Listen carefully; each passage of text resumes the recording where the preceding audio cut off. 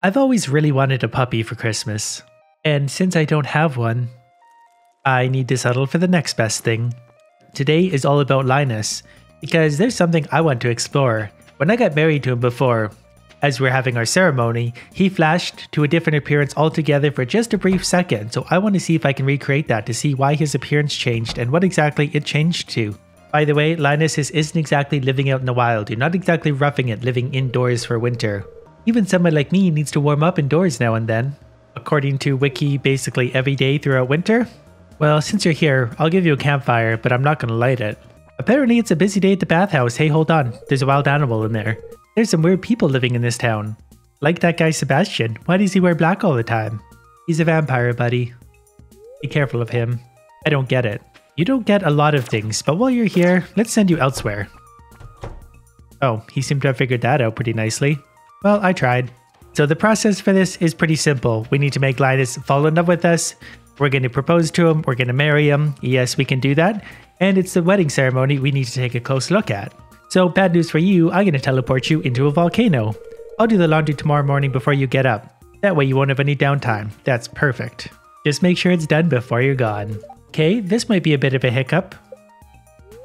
Pelican Town marriage log. After marriage, you may file for divorce here. Let's hope that isn't necessary. Because of the mods I have going on, I'm not actually allowed to divorce anyone right now. But I'm pretty sure we can still get married again, so Maru can stay after all. Linus really likes coconuts, and I'm happy to feed the guy, but I want to give him some food he has to work to get into, so coconuts are perfect.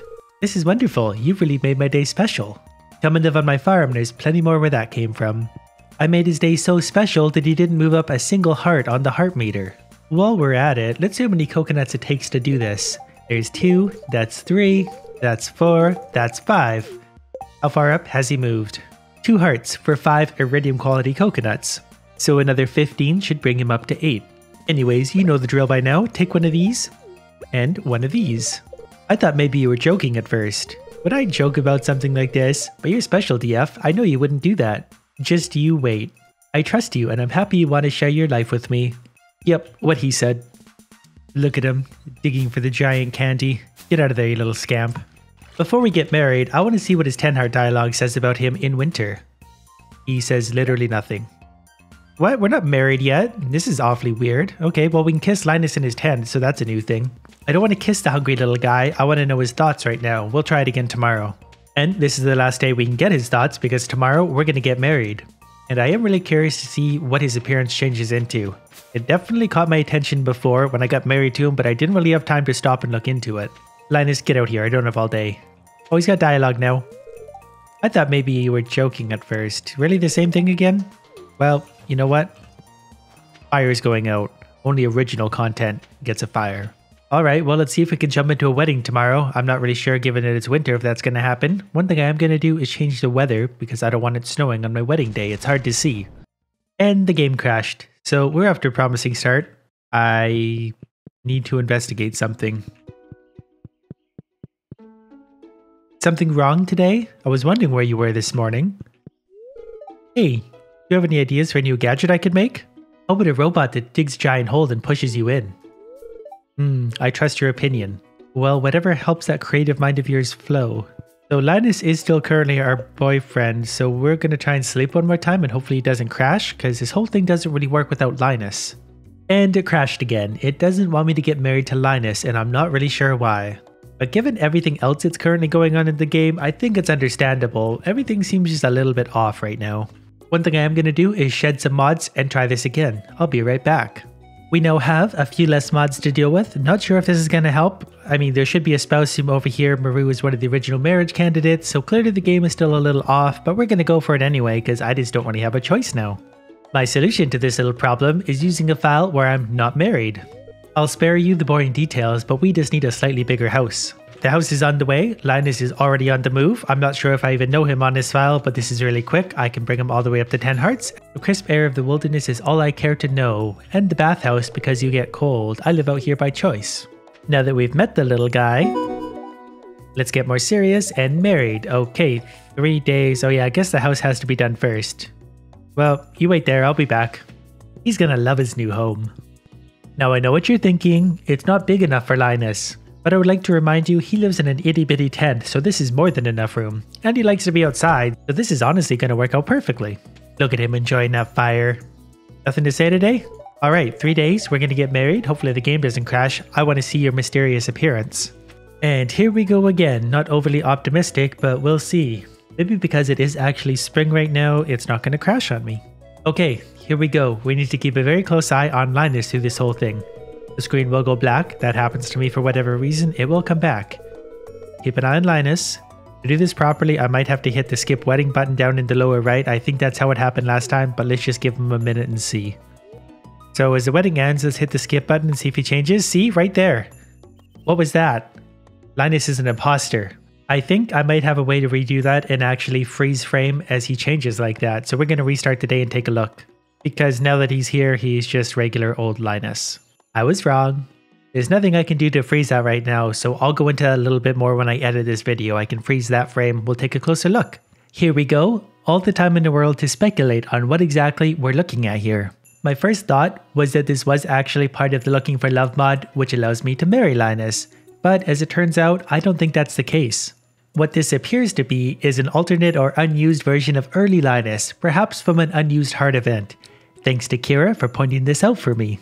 I did feel like it was vaguely familiar as if I'd looked at it somewhere, I just couldn't picture where. Wikipedia has the answers. Now, I still have no idea how or why it appears this way when I try and skip the wedding, but I've also noticed a few people's appearances seem to change into different outfits at this point, so it's probably just something with the coding and the mods, of which I know nothing about.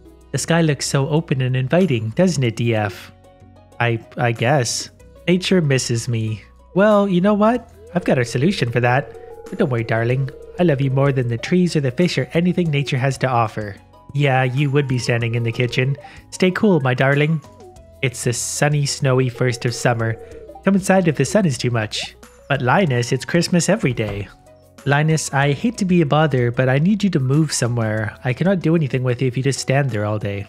Wait, I finally got it moving. Perfect. All right, you go there. Oh. Did he stop? What's... Was I just... What? Where'd he go? He's in bed. oh, man. I guess there's always tomorrow. We've got endless time to make these stupid ideas work. Well, here we go again. Linus, I made you a wonderful little pen outside. There's even a water dish. If you go in there, I'll even fill it up. There are so many little things to enjoy when you're married to someone as amazing as you. You're so kind, Linus. You have no idea what I'm trying to do to you right now. The problem is trying to get him to move, and last time he hit my portal, he just stopped. He didn't actually do anything once he hit it, which is kind of concerning for me. And he seems to play by his own rules. I change it to whatever time I want. He just stands there, staring longingly at the stove. Would you go to bed now? Literally 12 a.m. Finally, he's on the move and he walks around my portal. Of course he does. Linus, go. He's portal proof. I don't get what happened. I can walk through the portal and he's just stopped. Maybe I set them up wrong. Maybe that counts as him going through and that's why he stops. We're going to try it again tomorrow with portals in a different location, I guess. Because if I walk through the portal, perfect, out there in the rain where Linus belongs. Things I do for my pets, I tell you. You know what? The problem might have been he just didn't want to go outside because he knew his water dish wasn't full, but today it's full, so that should be the determining factor. Alright, you massive moron, get in the portal. Here, my love, you'll need this to stay warm today. Yeah, you might regret giving that to me. Probably something you'd do better with. Hey, 4 o'clock, are you gonna move? 10 minutes pass, anything? Linus, go in the portal. Here we go, he's on the move again. And he walks around my portal as if he's magic or something. Oh, that might not work. I gotta put it there. He can't possibly get around that one. He just stops.